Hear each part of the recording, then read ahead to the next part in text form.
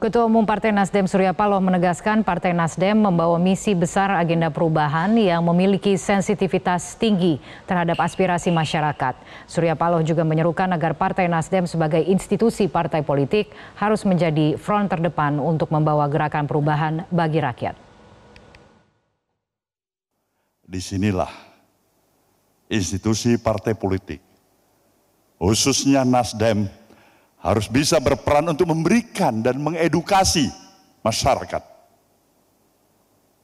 Bukan hanya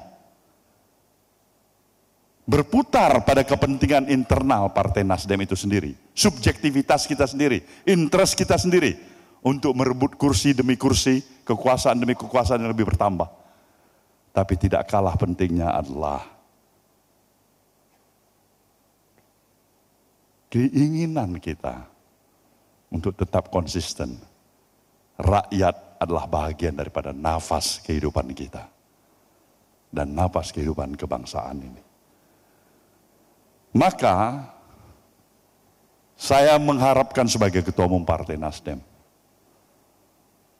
Sudah sewajarnya saudara para kader Partai Nasdem untuk bisa bersikap memberikan sesuatu yang lebih bernilai dari arti keadaan saudara sebagai kader partai di tengah-tengah interaksi keseharian kehidupan masyarakat yang kita miliki.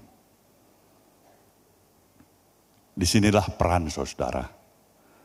Saudara sebagai kader bukan penambah beban kehidupan masyarakat.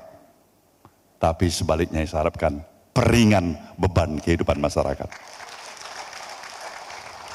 Ini maka berpikir secara objektif dan kritis, ah, itu adalah kader-kader yang kita harapkan menjadi andalan kita bersama.